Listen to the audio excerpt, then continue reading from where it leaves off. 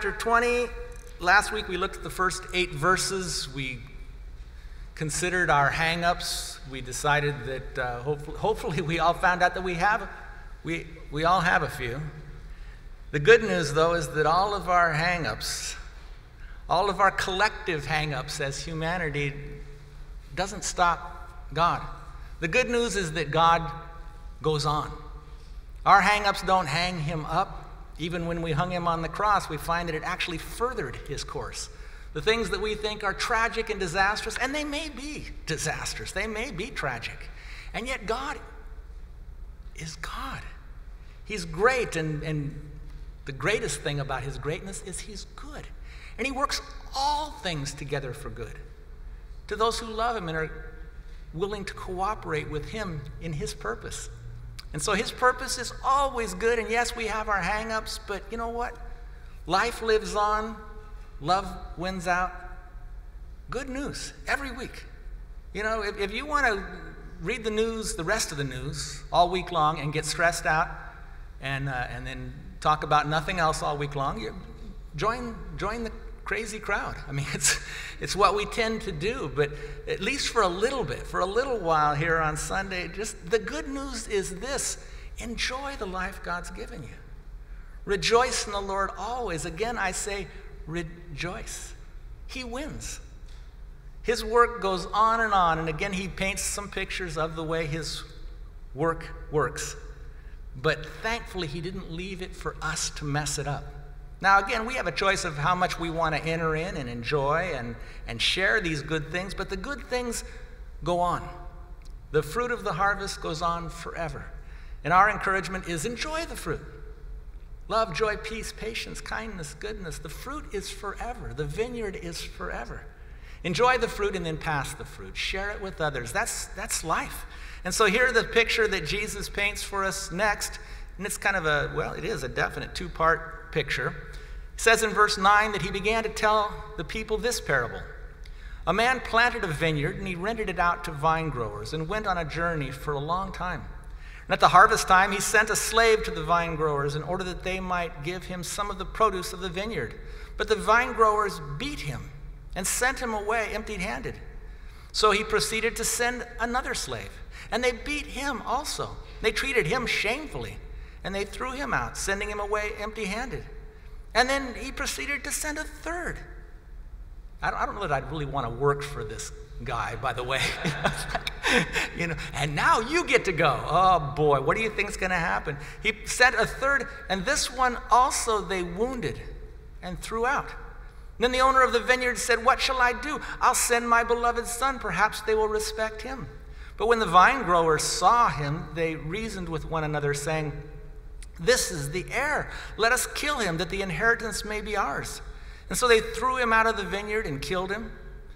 What therefore will the owner of the vineyard do to them? He'll come and destroy these vine growers and will give the vineyard to others. And when they heard it, they said, May it never be. But he looked at them and said, What then is that which is written? The stone which the builders rejected, this became the chief cornerstone. And everyone who falls on this stone will be broken to pieces, but on whomever it falls, it will scatter him like dust. Now, as typical for me, I am overly ambitious, and I come to the Bible and intended to look at this whole thing. Everything I've read, I thought, well, let's, let's talk about all of that. And, and right from the beginning, in my initial notes, I said, this may be too much. And now that I've written out everything I've looked at, I already know it's, it's too much. Have to split it into two because it really is two. It talks about the vineyard, the, the tender fruit. And then it has this second picture. And it's not that they don't belong together, that's why I read them together, and we'll look at the second part next week. But the tender fruit in the first part, the vineyard, and then the hard stone in the building. And in many ways, what could be different than that? And that yet the two of them together. And what helped me decide pretty quickly that, you know what, I'm not gonna, I'm not gonna race through it and try to put the two together. I'm just gonna separate them out. What helped me with that is the fact that it's, I don't know if it's cherry season or just we have a whole lot in our refrigerator. But, but my wife has been buying cherries, and then I, I, and I kind of think that it's my duty in life to eat up everything before it goes bad, whether it kills me or not. You know, I'm always just like, oh gosh, gotta eat this, gotta eat that, and so I've been eating a lot of cherries this week, and then I, I noticed she bought another bag. oh boy, and I'm always in a hurry, you know. Actually, burritos go best for me because I can drive and eat and go. Cherries are something that, you know, if you try to go fast, which I did find out that's, that's tough.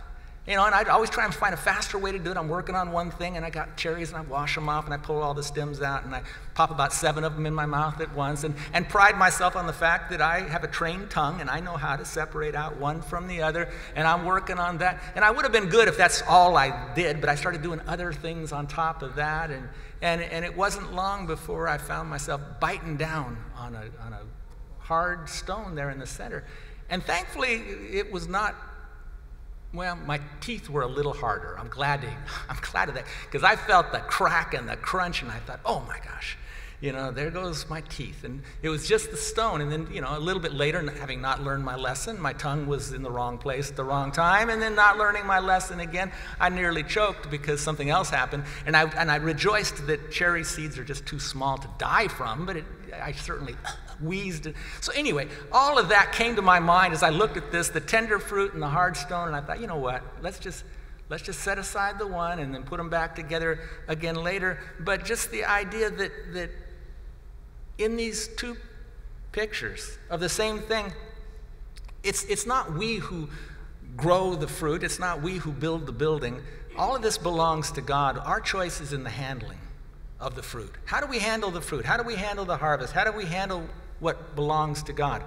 How do we handle that tender fruit? And, and what do we do with those stones? This, is a story about how the people who saw themselves as the builders, they looked at Jesus and said, He's not very useful for our building. He's, he's not what we want. We've got a plan in our mind of what the temple should look like, the building should look like, and He just doesn't fit. So set Him aside. And again, that's, that's for next week.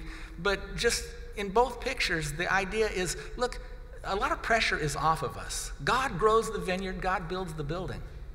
But here's our privilege and responsibility handling the fruit and finding a way, finding his way to fit in the building and, and to, to, to be what God wants us to be. Because every part, every piece is precious. He's the builder, he's the architect.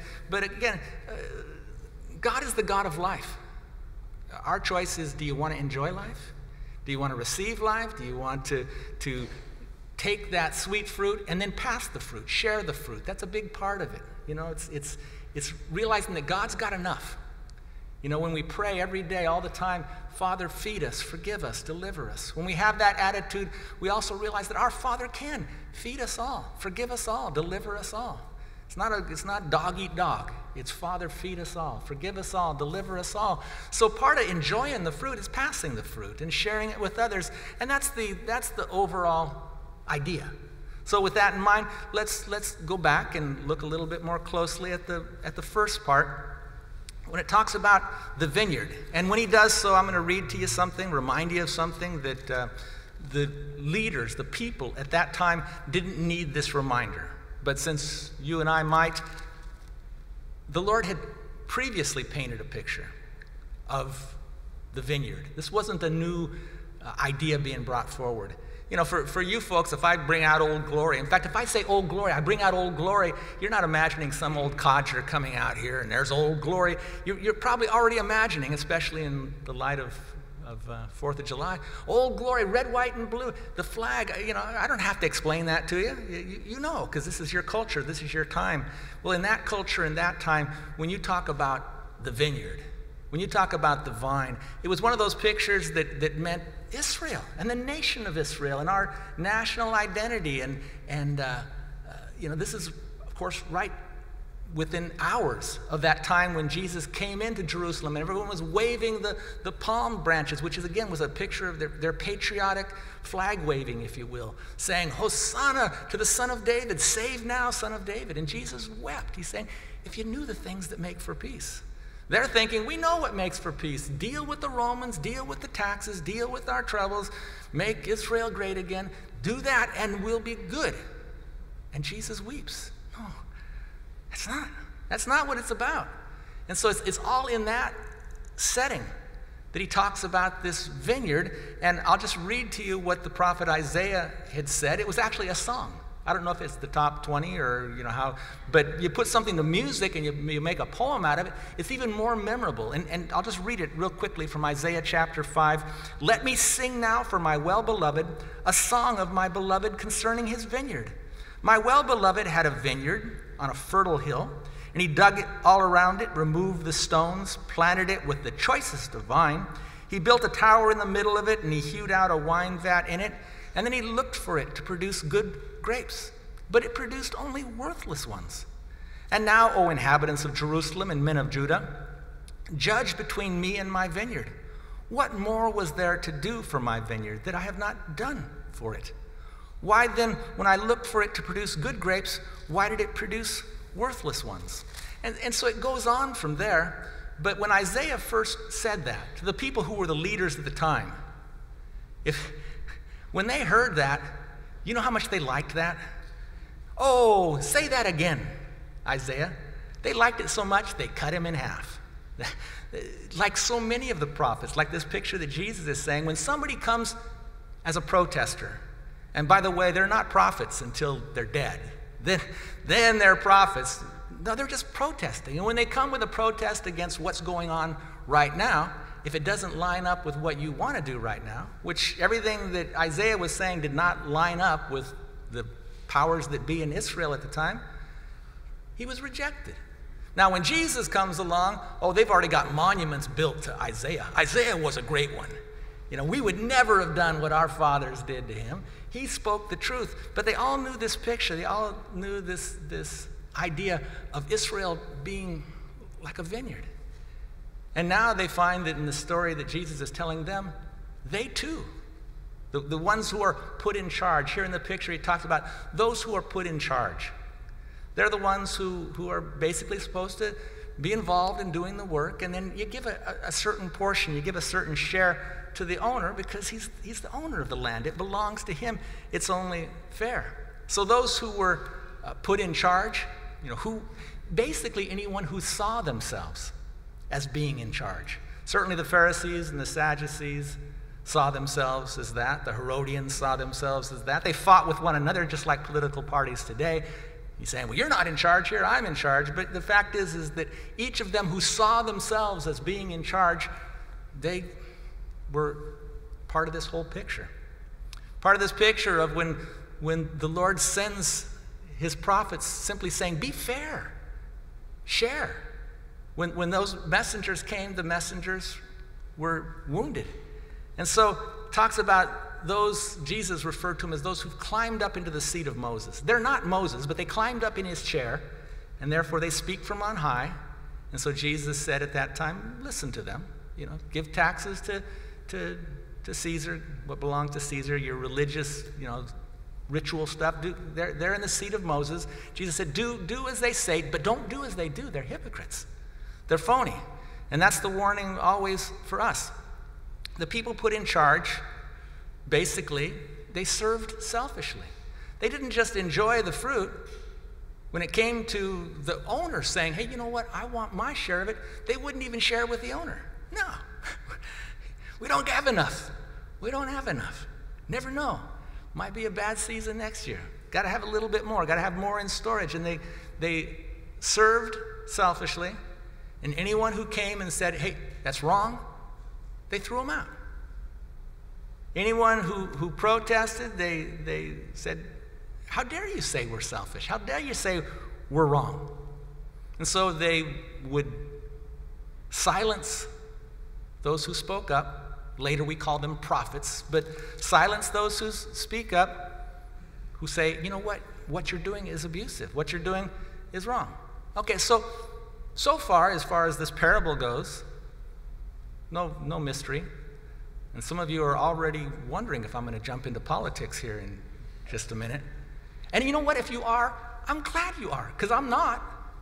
but at least you're thinking, how does this apply to me? How does this apply to us? How does this apply today to today? Because these truths are for all, for all time. Because human nature is the same, and the human Savior is the same. So, looking at the parable so far, it's, it's no real mystery. You have, you have an owner who is wanting just his own fair share of the produce, and every time he sends someone to get his fair share, people say, No, we're not going to do it. And then when they protest, How dare you be that way? They get thrown out, they get abused, they get harmed. All, all of that so far is, is no great mystery. That's human nature. It could be a story from many cultures, many different times, okay? Now, here's where the mystery really begins, is verse 13, where Jesus, having talked about that story, he said, and then the owner of the vineyard said, What am I going to do? I'm going to send my beloved son. Perhaps they will respect him. That's a head scratcher. That is a profound mystery. You send three, uh, like I said earlier, I wouldn't want to work for this owner because you, you know, you know what's going to happen. First time, second time, third, you know what's going to happen. And then he says, I know, I'll send my son. Perhaps they'll respect him. And my thought is, how could anybody be so naive? How could anybody expect something like they're going to respect your son after they've done that? How could you, anyone be, how could this be a picture of? As I believe it's intended to be a picture of God. How could this be a picture of God in his infinite wisdom? I mean, is the, is the owner patient? I'm going to send my son. Yes, patient. Maybe patient to a fault. Like, gosh, these people need to get the axe somewhere along the line. Certainly patient, gentle, and again, yeah, maybe gentle to a fault. Come on. Don't allow this to keep going on. Is the owner merciful? Yes, he's merciful. Maybe too merciful. All of that. But like I said earlier, is he wise? Is this the wise God? And based upon the way I think and most of you think, I would I got the answer. No. It's naive, it's simplistic, it's foolish. Is this wise? No way. But because it's a mystery, one that's still being played out through the ages, the answer isn't no way. The answer is no. Wait. See how smart God is. See how wise He is, because the fact of the matter is, you know the end of this story. One day, crowds that can't be counted, every tribe, nation, people, tongue will surround a throne, the throne of the universe. And seated there won't be a, a conquering hero as we see heroes, not a great lion, but, but a lamb. And a wounded lamb at that, a, a, lamb as though slain. So, yes, God is, is infinitely wise, and I certainly can't figure him out. And man, there's a bunch of mysteries in my everyday life. But the fact is, good news. He's wise. And so he, he sends his beloved son. Perhaps they will respect him. But they didn't. Not then, not at the time, still not all that much. But hang in there, it'll get better. But at the time, he sends his son. It says in verse 14, when the vine growers saw him, they talked with each other, they reasoned with, with one another. They said, This is the heir, this is the, the son of the owner. Let us kill him, that the inheritance may be ours. And again, if you were reading this story for the first time, or if you were watching it on a DVD or something, you, you again probably be thinking, who, who wrote this screenplay? Who, who couldn't see this coming? You think you're going to send your son and they're going to respect him? No, in fact, they did worse to him than they did to all the other servants before. The rest were abused. He was killed. Didn't you see that coming? How smart are you, oh owner? And then the craziness of the people who kill him. How crazy is that? Thinking, I know we will kill the son and then somehow we're going to inherit the whole place. That's how crazy we can get. That's how crazy it was what happened to Jesus. That's how crazy we can be when we're blinded by our own selfishness. So much desiring to keep what I got. And don't you dare tell me anything otherwise. And, and when that starts to get worked up within me, heaven help the person that comes and tells you differently. Because that's the mindset of, of human nature. and crazy. No, you can't win. You can't win by abuse. You can't win by force. Ultimately, the meek will inherit the earth. They will. But again, just the craziness. If he, if he came again, we would crucify him again. We're not any better. That's just who we are. The wonderful thing is, he loves us knowing who we are. And, and he can make us better. We can become better by, first of all, recognizing that in myself, I'm, I'm not any better. I, I have the same tendencies. So the craziness where they think that they can kill him and somehow keep it all for themselves. So it says, verse 15, they threw him out of the vineyard and killed him. And then the question, what therefore will the owner of the vineyard do to them? Well, What do you think? He'll come and he'll destroy those vine growers and he'll give the vineyard to others. That's what he's going to do. Now, Luke here and, and Mark does the same. They put those words, the answer to the question. The question, what's the, what's the owner going to do? The answer, he's going to bring those wretches to a wretched end, and he'll give the vine vineyard over to others who will bring forth the fruit thereof. That, those words are, are in red, they're coming from the mouth of Jesus. But Matthew's gospel, the, the words I just quoted, in Matthew's gospel, Matthew himself being a Jew and an eyewitness to these things, in this case, gives a, a, a, fuller version of it. And actually, you go back and read Matthew, and you find that when Jesus asked the question, what, What's going to be done to these people? What will, the, what will the owner do? They said, Why, he'll bring those wretches to a wretched end, and he'll give the vineyard over to others that, that the produce might be yielded up and shared in the way it's supposed to be yielded. And, and I, I, believe that's exactly the way it was. Mark and Luke just simply have Jesus saying essentially, Amen. You, you just passed a judgment, and you know what? Your judgment is just. That's what justice would do. And, and the incredible thing, the, the important thing, in Matthew's gospel, by, by being in the mouths of those who themselves were going to be calling for Christ's crucifixion, who were already plotting to get one more protester out of the way. That, that while that was happening, as crazy as that is, you're going to crucify the Lord of glory? You're going to crucify the Son of God? As crazy as that was, and as much as Jesus later said, Father, forgive them, they don't know what they're doing, the very fact that he could put the story to them and they could jump in and say, This is justice, simply proves the fact that no matter how crazy they are, they're not crazy. They, they, you can't claim criminal insanity. You still know how to be just when it involves judging someone else. You still know what justice is. You just don't see it for yourself. You don't apply it for yourself. And so these leaders at that time, just like David back in the Old Testament story when, when his friend Nathan comes up and tells David this terrible story, and David gets caught so much up in the story that he wants to just go throttle that guy. And, and then Nathan says, David, that's, that's a picture of you. You're the man. In the same way, these leaders got so caught up in this story, they said, This is what's got to happen. And Jesus said, Yeah, that's justice. That's, that's what should happen. But, you know, the, the story's still being played out. We act crazy, we're just not crazy. I mean, we're crazy in a crazy way. And Father, forgive us because we don't know what we're doing. But we're pretty good at judging when we're looking out at someone else. And that's the one place where we should be much slower much more perilous than cherries in the mouth and separating out the, the good from the, from the not so good. When we're trying to judge others, be, oh, slow down, be careful. And seeing myself, that's always the place where I stand before God. God, you, you show me. Because no one can preach it at you. Even if they were right, if they preached it at you, you would quit. Especially nowadays, you don't have to kill them. Just go to a different church. Just tune into a different station. Just find a different friend. You know, just unfriend them. And it's easy nowadays. If I don't like what you're saying, I'm done with you.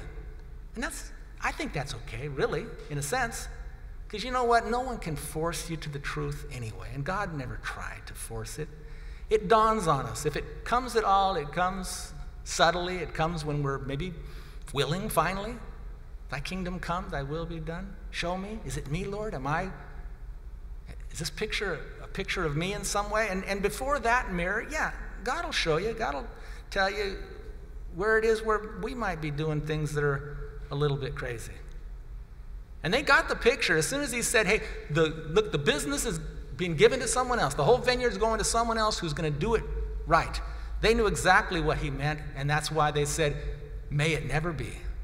Like, oh, we, ju- we just lost the franchise. The nation Israel isn't going to be just the chosen nation exclusively like we thought it was supposed to be. Somehow the vineyard is being given over to others. They said, may it never be. But you know what? It must ever be. That's the way it has to be because that's justice, and justice will prevail. Justice wins. Don't fret about, oh, they're getting away with it. No, no one gets away with anything. Justice will prevail, it has to prevail. Question is, do I want justice? To do justly, to love mercy, to walk humbly with God. It's, it's pretty simple. Is that, is that what I want? If you start with walking humbly with God, He'll show you what's just, what's fair and he'll teach you about mercy. And justice will prevail, but never at the expense of mercy. Mercy is never harmed in the, in the giving out of justice. And so, God, working through people, will, will always do what's fair and just, but also what is merciful and kind, and, and these are not in opposition. And I would say, reading this and, and thinking about it and applying it to myself, if, if I were in any way in my life right now let me talk about me for a second. My favorite subject. It'll take the pressure off of you. Let me just say, Lord, is it me? Am I abusing someone in my life right now? Am I the blind abuser, the selfish blind abuser of my wife or my neighbor or somebody else where I'm just not being fair with them? I'm not being merciful toward them because it's all about me. That's the way I see it. Is there some place in my life right now, Lord, where I'm just being selfishly stubborn, and if anyone told me differently, I would unfriend that person? Don't you dare tell me anything differently. And you know, as I think about that, you know, at the, at the moment, being of, of sound mind, I hope, I got the Bible in front of me, I've been praying. I, it's an easy place. Church is an easy place to think. And I, and I think right now, I would say, God, if I am, stop me. Please, Lord, stop me. If I'm taking advantage, if I'm abusing someone, if I'm being unfair with someone, and I just won't hear it from anyone else, Lord, can I hear it from you? Show me. And I, and I hope that most all of you would have that same kind of desire. Lord, you show me. I don't want to do that to people. I really don't. I may be doing it right now, but I really don't want to live that way. I don't. I remember as a kid, I, I, I grew up on monster movies. Loved all the monster movies. Even bought little, you know, other kids bought little model, glue together model kits of cars and jets. I, I got models of monsters. And I had them all, the mummy and the creature and Frankenstein. And, but my favorite was, was always the Wolfman. I always liked Lon Chaney Jr. and the Wolfman. I, I think it was because I, I thought I could do a good Wolfman imitation. And it gave me a sense of power, being the little, the little brother, you know, it's like, oh, watch out. But I remember I, I, in one of those Wolfman type films, the, the guy, uh, can't, can't remember his, what, he, what he was, his Bruce Wayne counter person, but uh, whatever he was when he wasn't the Wolfman, I remember that guy saying to people, you know, Tonight, if you hear funny things come out of my bedroom, do not unlock the, you know, if you keep the key on your side, don't let me out no matter how much I plead, no matter how much I growl and cry.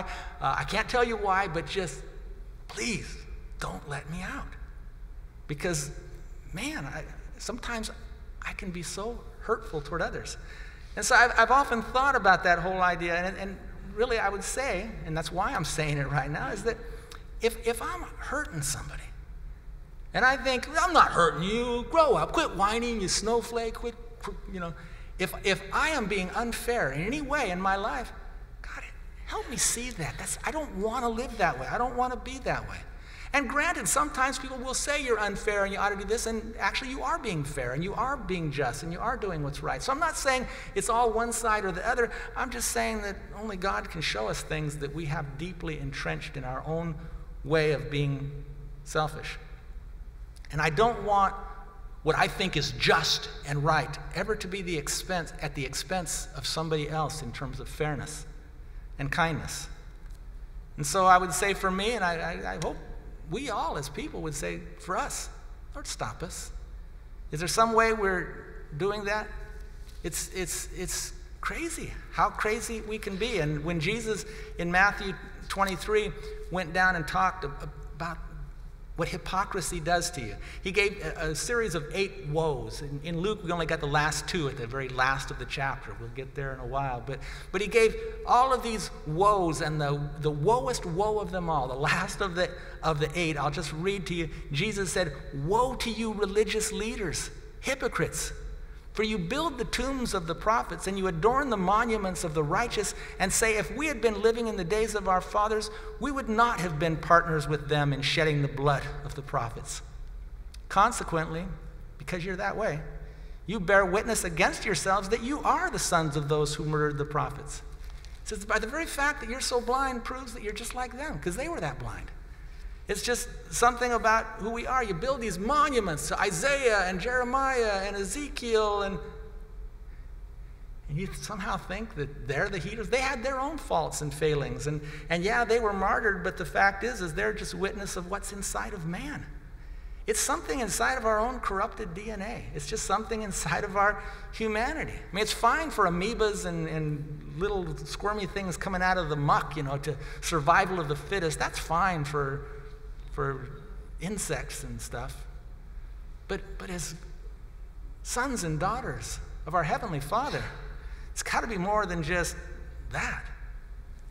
But the fact is, is that all of the folks that we look up to as heroes, some much better, some much higher than others, but we all have our failings.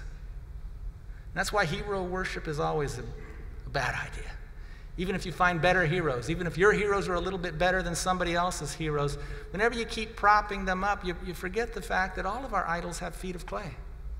All of the monuments that we've built to someone, there's someone they stepped on somewhere along the line. And all those people who've been trodden down and walked over, don't make heroes of them either because a generation or two before or after they were treading on and walking on someone else. It's humanity. And it's not like, oh, yeah, people are disgusting. That's why I'm heading for the hills. That's where all the really disgusting people are. I say that for Howard and Jane because they've run for the hills. Now, the fact is, is no matter where you go, even if you're all alone, you're still with a corrupted human being with yourself. It's not like, oh, I hate it. No, love. He, he, God is not ashamed. Jesus is not ashamed to call us family. So I'm not saying be ashamed, just understand that there are sometimes behaviors that we should be ashamed of. So change the behavior. Ask God to show you where the sickness is because it's a common sickness that afflicts us all. And in every generation, we, we tend to have our similar selfish blindness. And it's, it's seen so clearly later, and you build a monument to someone later, you can't see it when it's right in front of your face. And knowing that that's the case, just bear that in mind. And in, in honor of Fourth of July and the fact that I failed to sing I'm a Yankee Doodle Dandy here this morning, I'll just remind you of, of our nation. And it's not because I'm ashamed of this nation any more than I'm ashamed of my own parents and my family. I love my family. But you know what? It's good that other people from other nations love their nation and love their family as well. And the fact is, though, as, as much as there are so many amazing good things, there ought to be amazing good things coming from this country because we had such a wonderful opportunity like no one else had to begin it all over again. And some of the people really thought we're going to begin it all over again. They had this utopian ideal wherever they settled. But you find out after a while, you know what? We're doing it again. And now, a century or so later, we can look at things and say, how could they do that? I mean, it's easy to look at slavery, to, to, to look at people writing, you know, all men created equal and then owning slaves, it's, it's, it's easy from our perspective to say, oh, what a hypocrite. I'm not even going to go to his monument. I'm not. But you know what? That's, it's just easy to see that they were blind now. It's easy to see now what was done to a lot of the indigenous people in this country. It's a shame, a lot of the things that were done. Because people were just greedy. This land is your land, this land is my land. Oh. And, and, and is, a, is there a simple solution? No. Was it going to be complicated and difficult? You bet. Could I have fixed it? Probably not. But the encouragement always is if you can see it in someone else at a distance, just be aware that there might be ways in which we're just walking on someone. We're, we're not being fair, we're taking advantage of it. And, and again, uh, don't worry about politics. I mean, uh, vote where you can. If you're, a, if you're a government official, certainly you got more responsibility, wh- whatever. It's hard jobs to do. And there's a lot of necessary evils in this world. But just, just how about your family? How about your parents? How about your spouse? Where, where am I being neglectful and abusive of someone because I'm just walking in my selfishness? And it's, and it's easy to see, you know, later, a little closer in time, the, the Japanese internment camps. And now monuments built, and oh, ne- never again, shouldn't have happened. But, you know, that generation is just about died off, but it wasn't that long ago. And I, I'm old enough to know a lot of folks that lived through that. And there's like, hey, we were in California. It wasn't that simple. Uh, it wasn't hatred. It was, but it's like, well, you shouldn't have done that. Okay, that's that's history. That's just a reminder that you know what we build the monuments and we feel good about ourselves, but God's not in the business of just having us feel good. It's let's do good, do justly, love mercy, walk humbly with our God. How? I, I, that's not my job to tell you how. I'm just here to say that's just slow down, just like eating cherries. Slow down, be careful. There are sweet, good things to eat. There are other things that'll break your teeth on. So be careful. And, and, and don't just enjoy the fruit, but, but share the fruit. You find something good, share it with someone else. Freely you've received, freely give, Jesus said. And for my life, I don't, I don't want to just enjoy what I want if it's at the expense of someone else, because at some point I'm going to wake up to the fact that, you know what, I can't enjoy it anymore. If it's at the expense of my brother, it's at the expense of me because we belong together. If I'm damaging someone in the family, I'm damaging me because I belong to that family. We all belong to the Father. So, as far as the vineyard goes, as far as the government goes, as far as. My hope is always that wiser heads would handle it. Because it seems like the leaders have always had these selfish ways. It's that way any place. It's not one company, it's not Wells Fargo, and they're the bad ones. All those other good banks. And now Wells, it's so funny to hear the Wells Fargo commercials where they're trying to do the dance and reinvent themselves. And you know what? I, one of my kids works for Wells Fargo, another one works for Citigroup. They're both evil, I can tell you that. No, they're, they're people. And in those positions, you try, you, if you're wise, you try and be fair. You, you can't just say, hey, print the money, give it all out. You, you, you got to be practical. But I don't think any one of us can really enjoy the good fruit that God's given us unless we have an attitude that says, not only am I going to freely enjoy it, I'm going to freely learn to help others to enjoy it. Because the fruit of the earth belongs to all the people of the earth. It's not just who got there and exploited it first, it's that this is something that comes, that God's freely placed within the, the, the world itself. And so finding ways to, to work it out. And my hope is always, you know, that wiser heads would handle it, and that's not the next election. It, it, the wiser heads won't be governmental or religious heads. It's, it's going to be it's going to be Christ. If and where, not if, there is a true church. But it's not in any one building or denomination. And, and wherever the church is being the church, it's just the body of Christ. He's the head. The wiser head rules, and, and those are just people who are doing what he would have us to do. And that's always my idea. God, help me to be what you would want me to be. I don't, I don't want to be simplistic in my solutions. You hear it all the time. If you don't hear it, read it, blog it. Simplistic solutions. It's not a solution. You don't just do this because it. I don't want to be simplistic in my solutions. But, but I, I want to be simple in my soul.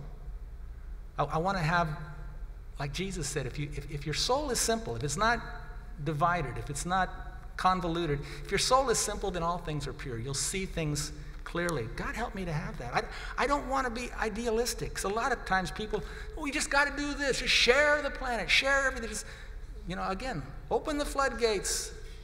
It, it, it can't work that way. Not yet. We're not grown up enough for that. Not yet. We still have to have armies and police force. We're not grown up enough. We haven't learned to love our neighbor. We haven't matured enough yet. But while I don't want to be idealistic, I don't, I don't want to lose my ideal. My ideal is Jesus. I want to be like Jesus. And I find all the time, you know what? I can't do what Jesus would do. I wish I could, though. Lord, help me to be more like you. But it's just, it's just that. And when it talks about the vineyard, I'm going to take it away from the Pharisees and Sadducees or whoever they were and give it over to others. Who did he give it to? And some will say, I've said it a million times, he gave it over to the church. And then you got to ask the question, which church? And then each church will give you the answer. Ours! We're the real one. We're the true one. We're the oldest one. We're the most stuck in our ways one. We haven't changed in a thousand years. What, whatever. It, suddenly we're fighting once again. Which part? Which part of which church? Which party? Which group? Who's really doing it right? Where, where do you go and bless them with your fellowship because they're doing it right?